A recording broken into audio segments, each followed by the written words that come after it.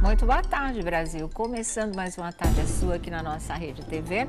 E claro que a nossa primeira página hoje só podia ser sobre essa encrenca danada que está dando a entrevista que a Bruna Marquezine deu ao jornal O Globo, da mesma organização na qual ela trabalha, né? na Rede Globo de televisão. O jornal O Globo publicou essa entrevista no, ontem, na edição de ontem, e ontem mesmo a Bruna Marquezine começou a ficar revoltada a pedir para os seus seguidores não lerem. Ela tem mais de 28 milhões de seguidores, para vocês terem uma ideia nas redes sociais. E ela começou a pedir para que não lessem, não lessem, que ela não disse muita coisa ali e ela realmente estava muito indignada. A gente, lendo, nós como leitores apenas dessa entrevista da Bruna Marquezine no Globo, aliás, é muito bonita a página, não é uma página toda, vocês estão vendo aí essa foto linda, adoro adoro esse tom rosa bebê. E, e a, a, a, o título é chamativo, diz o seguinte, olha, Bruna Marquezine, me sinto perseguida. Essa é a expressão que ela usou, né? Ou que colocaram na boca da Bruna Marquezine, porque ela está alegando que muita coisa ela não disse, que muita coisa foi colocada na sua boca. E aí diz o seguinte, logo no comecinho, olha, cansada das críticas pelos atrasos na novela e do título de namorada do Neymar, a atriz fala sobre os desafios na carreira, o no amor e na árdua tarefa de saber quem é quem na seleção, só mesmo decorando o álbum. Então, por esse eh, início, por esse olho da matéria, vocês veem que é uma matéria, e para gente que leu, como eu estava dizendo, é uma matéria absolutamente normal, não tem nada ali que deponha contra a Bruna Marquezine, não tem nada que seja ofensivo, é pergunta e resposta, é um texto coerente não tem, sabe, nada que você veja que se forçou a barra ou que tendeu para um lado, ou então que teve má vontade da jornalista com ela. É muito diferente daquela reportagem da Veja Rio, quando a Gretchen foi a capa. Vocês se lembram também, a Gretchen estrelou, ficou magoadíssima, deu a resposta.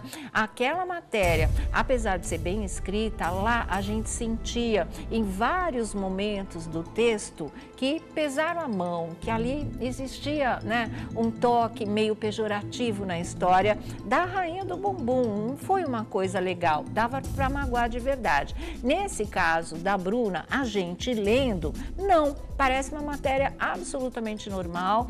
Fala e pergunta para ela todas essas coisas que a gente vem comentando, não é tudo que falam Uh, como público telespectador, como nós falamos também como telespectadores e como críticos de TV.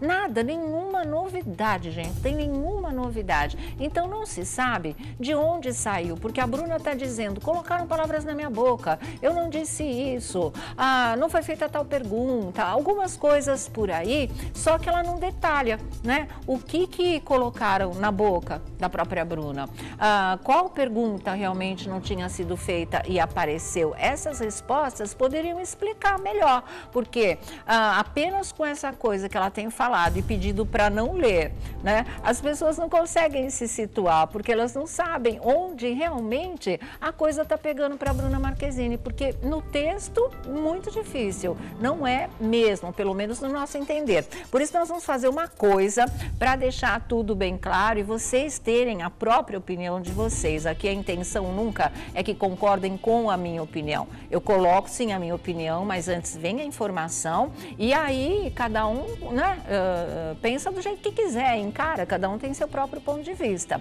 Então vamos lá, olha aqui.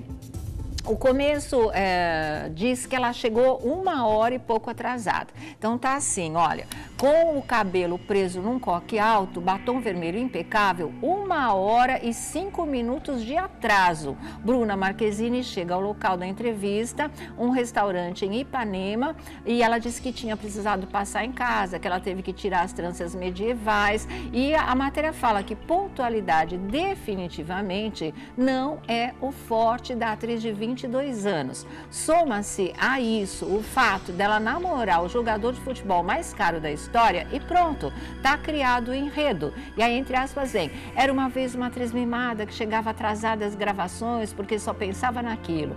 Não importa o que eu faça, tudo é associado ao Neymar, queixa-se Bruna. E a Bruna diz, é cruel. Disseram que eu teria que escolher entre a carreira e o namoro. O artilheiro da seleção discorda e respondeu para ela o próprio Neymar quando essa situação saiu. Quem tem que escolher um lado sou eu e eu escolho o seu, escreveu ele por mensagem à namorada. Enquanto esse dia não chega, Bruna vai driblando a saudade pelo WhatsApp e assistindo aos jogos pela TV, como ela fez ontem, ou seja, no domingo, e assistindo né, pela TV. Aí, como fez ontem no amistoso contra a Áustria. Vi com a minha família em casa, sempre fico nervosa, mas muito feliz por ele, diz a Bruna. Até aí vocês viram alguma coisa ofensiva? Nada. Fala do atraso, mas fala de uma maneira absolutamente normal e cita né, como realmente ela fica visada, porque ela é ela, tá aí estrelando a novela e por ela ser namorada do jogador mais caro da história do futebol. E aí começa, vai para uma outra página, deixa eu ver. É, porque tem as histórias de infância, essas coisas todas também não tem muito a ver. Uh, não, vamos lá. Você estreou como atriz? Não, é essa outra pergunta aqui. Na semana passada, você publicou uma carta-resposta a um jornalista que disse que era hora de escolher se você seria atriz ou namorada do Neymar. Foi você mesmo que escreveu? Porque nós colocamos em dúvida aqui, não é? A carta muito cheia de argumentação, isso, aquilo. E, e a gente falou, será que foi ela mesma ou será que foi a assessoria? E a Bruna está dizendo que foi ela mesma. E ela diz, fui e me orgulho disso, porque ninguém pergunta para o Neymar se ele vai largar a carreira por machismo. Peço para minha assessora de imprensa não me mandar coisas negativas ou mentirosas uh, para que eu não queira responder e pôr mais lenha na fogueira dos outros. Mas por causa de um tweet de um fã que a defendeu, ela resolveu uh, dar aquela resposta. E ela diz, uma matéria por mês te uh, te detonando, né? Você aguenta três, quatro por semana, não dá, me sinto perseguida. E é dessa frase que foi tirada a, a manchete, me sinto perseguida. Porque realmente, não é? Não só antes de começar a novela, como durante toda a novela, e a gente comentou muito isso aqui, só dá a Bruna nos noticiários. E nem sempre é a parte romântica da história. Porque por conta da parte romântica, a parte profissional foi afetada. Por mais que ela diga que é injusto, por mais que ela diga que não é assim, por mais que ela diga que as coisas foram resolvidas, né, o que se sabe, e são fontes importantes, a gente já disse tudo isso aqui, não quero ficar me repetindo, é que realmente, uh, por conta dessa história dela com o Neymar, a situação ficou assim muito complicada. O clima nas gravações, no estúdio, entre os colegas, né, ficaram muito complicadas. Talvez ela não saiba tanto porque ela viajou bastante também, mas que a realidade era essa, isso com toda certeza. Mas enfim, a jornalista vai chegar lá e a Bruna vai falar. Olha aqui. O que, que a sua assessora achou da resposta? E ela disse, brincando, Bruna, acho que uma revolução começa agora. E é isso, comecei minha revolução. Sou uma pessoa pública, preciso usar minha voz. No dia seguinte à carta, recebi uma mensagem do meu namorado que começava com a tal manchete. Para que lado vai Bruna Marquezine? Carreira ou namorada do Neymar? A manchete não era essa, viu gente? E seguia, você vai para onde houver luz, porque você é uma pessoa iluminada. Isso Neymar dizendo para ela: não deixe que essas coisas te abalem. Quem tem que escolher um lado sou eu e eu escolho o seu. E aí uh, ele chora. O texto teve uma função no meu relacionamento, ela diz. Eu não vim de um lar feminista, nem ele, mas o fiz enxergar algo importante e isso me tocou. E aí continua a entrevista lá em cima, nessa mesma página, é tudo uma página só, a gente que dividiu para vocês poderem ler conosco. As críticas, e aí a repórter pergunta, fala que essas críticas em relação a ela, a, não só em termos de atuação, mas de atraso, de pedir sempre para estar tá viajando, dos companheiros estarem ficando de paciência cheia com isso, né? A repórter pergunta. E ela diz: as críticas começaram por conta dos seus atrasos às gravações da novela. E aí a Bruna explica ao lado dela dizendo o seguinte: Me atrasei durante um período em que estava passando por mil coisas, problemas pessoais, campanhas publicitárias, nem tudo é relacionado ao Neymar. Eu estava, estava cansada, não me comprometi como deveria. Então a imprensa não estava mentindo, né? Estava cansada, não me comprometi como deveria, errei. Pedi desculpas ao meu diretor e ele entendeu. Meu vacilo era com o horário, não com o trabalho. Chegava lá com o texto decorado, as cenas na cabeça. Atrasar é horrível, cafona, deselegante. Também não queria ter me atrasado para essa entrevista, mas aconteceu. Agora, relacionar isso com o Neymar é cruel tudo é culpa dele? Sou mais do que isso. Minha existência nesse mundo não se resume ao meu namorado. Como é que o Neymar reage a essa pressão que a Bruna diz sofrer, né, a ponto dela se sentir perseguida? E aí ela responde: quando ele diz que a escolha não está na minha mão, mas na dele, e garante estar do meu lado, me respeitando e respeitando o meu trabalho, ele está se posicionando, me apoiando. A carreira dele tem curta duração. A minha minha, não. Se tiver papel para mim, com 90 e poucos anos, eu vou fazer.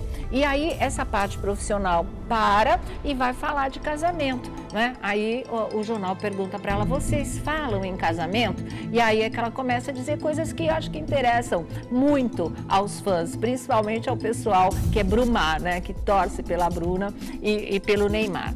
Ah, não quero botar o carro na frente dos bois, diz ela sobre casamento com Neymar. Nosso próximo passo é morarmos juntos, porque depois de seis anos entre idas e vindas, queremos ficar grudados. Só vai rolar quando for possível para mim e para ele.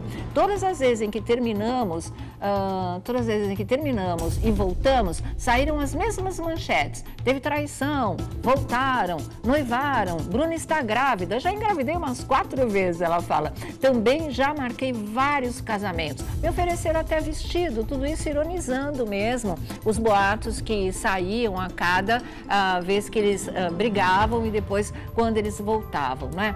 É verdade, e essa é uma pergunta importante, que vocês rompiam porque ele queria se casar e você não? Isso foi extremamente comentado no último rompimento deles, lembram disso? Até que ele estava no Instituto Neymar aqui e perguntaram muito esse, tipo de coisa para ele também. E aí a resposta dela, uh, praticamente ela confirma isso, né? Ela diz: sou muito independente, dona da minha vida, não suporto a ideia de precisar de autorização ou depender de alguém. Não que eu acho que o casamento significa isso, mas é uma coisa muito doida, evito até pensar. Carreira internacional, ela fala também, né? E mais no final, vamos ver sobe aí um pouquinho para gente terminar aqui. Falam bastante de trabalho. Ela fala que ele, ele ah, se ele tinha ciúme do português, o, o Hidalgo, e ela diz que sim, por isso que o Neymar parou de assistir a novela. E aí ela termina falando, é a última questão lá, ah, se ela vai para os jogos ou não, porque essa é a história do momento. E ela diz: não vou conseguir ir no primeiro jogo. Recebi o roteiro da novela, tenho muitas cenas, talvez consiga ir no segundo, dia 22. Mas se conseguir, terei que ficar dois dias e voltar. Já fiz pior. Quando o Neymar jogava no Barcelona, fui até lá para ficar só 24 horas e voltei. Se isso não é amor, né? E aí é que termina a matéria. Ou seja, uma matéria absolutamente limpíssima, sem nada ofensivo, então não sei por que essa revolta toda. Acho que a Bruna está muito estressada, né? E hora de relaxar, porque senão as coisas não vão dando certo, não.